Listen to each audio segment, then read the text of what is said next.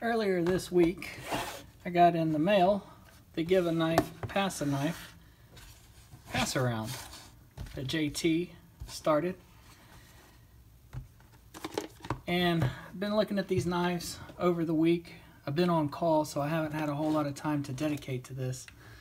Um, but I can tell you right offhand, none of these knives really excited me. None of them really caught my eye. So once again, I'll let Connie take a look at them and choose out of this bunch the one she wanted.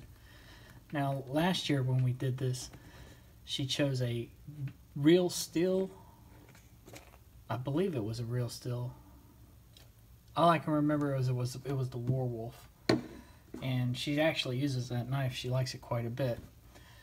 So we're gonna dive into these knives, and I'll tell you which knife she decided she wanted, and hopefully kick a little more vitality back into this. I'll show you guys what knife I'm going to be placing into the pass around.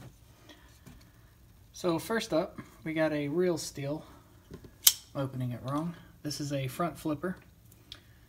I'm not even sure of the mo model name. The Metamorph. Cool design, front flippers. I, I do like them, though you got to get the knack for opening these things.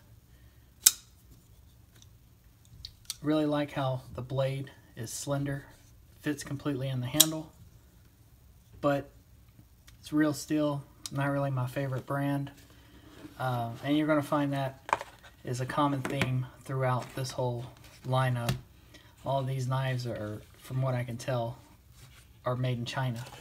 And I'm not a big fan of China-made knives. Next up, we got the Steel Will Again, I'm not sure of the names. I'm going to have to physically look at the knife in the box. Steel Will piercer. And this knife kind of reminded me of, uh, I believe it's called the Positron from Spyderco. The way the, the choil, the finger choil here, prevents your, your finger from going forward on the blade. Just the size of it. Uh, the overall design, it really reminds me of the Spyderco Positron. I believe that's the name of it pocket clip is really, really thin. If you get that caught on something, it's going to bend quite easily. It is a it is a deep carry though, so that's that's a plus. The lanyard hole doesn't get in the way. It's a liner lock. The liner lock is very easy to engage, but just opening this thing is not the greatest.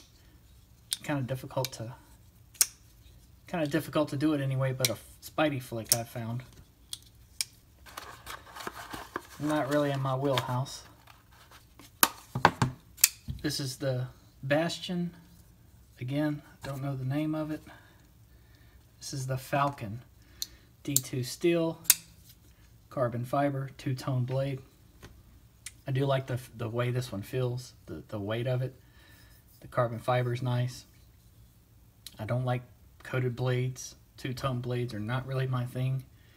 It is a uh, it's like a bolster lock, kind of. Bolster liner lock, whatever you want to call this thing. But being a two-tone blade, being Tanto, not really, again, in my wheelhouse. I'm not sure who makes Bastion knives, being D2 steel. I'd imagine it's going to be in China somewhere. It's just a company I've never heard of. The knife itself is kind of cool, but given my quirks, not for me. This is the Zaun Knives Company Stedman model.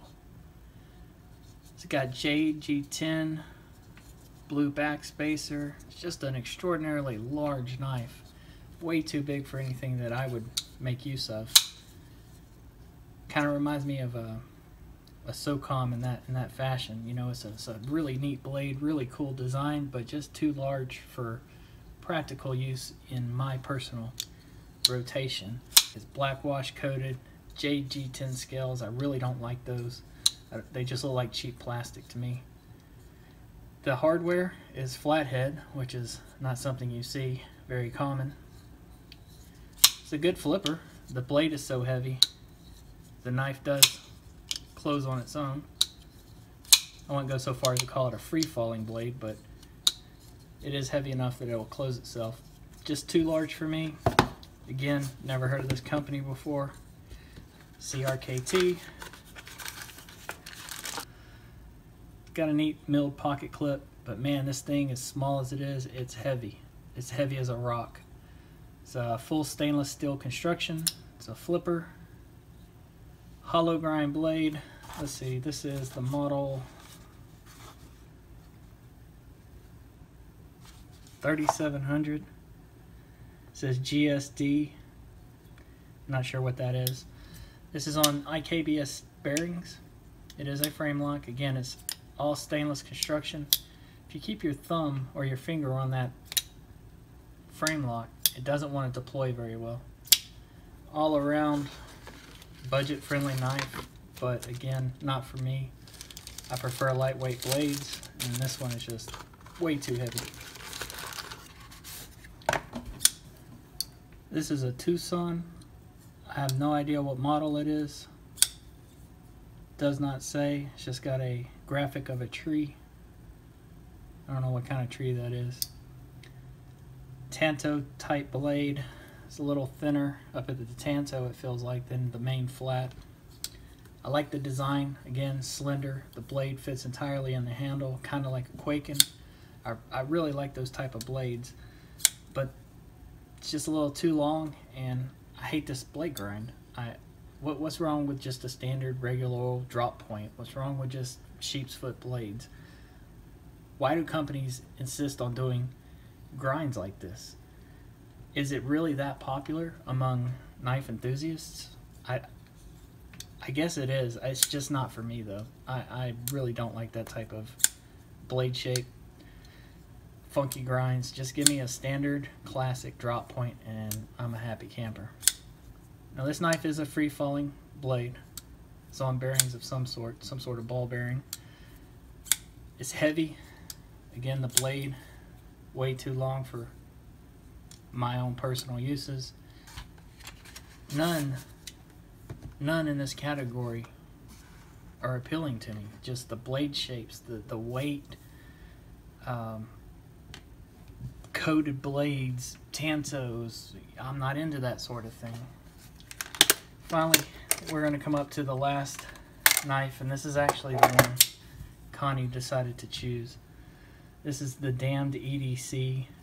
I believe it's called the Wraith. Yeah, it comes with a little a little card here.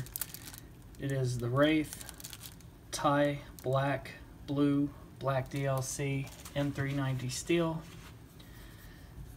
It is a little chunky, it is a little heavy.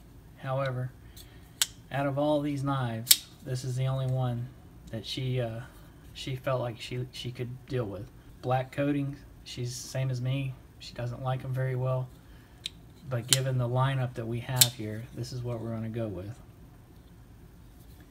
It's got a nice milled pocket clip, fairly deep carry, though it's not fully deep carry sheep's foot blade, M390. Not quite a free-falling blade, but I'd imagine with a little, little lubrication, maybe some cleanup, that would be just fine. So this is the guy we're going to choose. And in its place, as I said, I want to kick this up and get a little more enthusiasm into it. What we got here is a USA made Microtech UTX 70. You can see why I'm going to relinquish this one. It is a two-tone blade in itself and it's serrated. However, the UTX is such a small little knife, I really don't think the serrations are going to be a big deal. Anybody using this, they're probably just going to open letters, maybe tape on a package or something. I don't foresee this being a hard use knife if they ever need to be sharpened, all you got to do is send it in and uh, they'll take care of you. Now, it may take five or six weeks to get back to you, but they'll take care of you. So, this is going to be my contribution. And this one is going to be the knife we remove.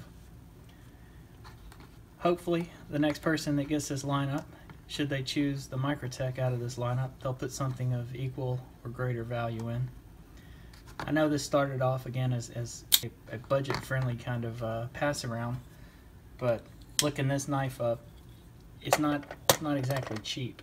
So I don't want to throw in a $30 knife in its place. I'd rather put something of uh, a little more value in there. Well guys, hope you enjoyed this video. If you have any questions or comments, as always, leave them below. Y'all have a good one.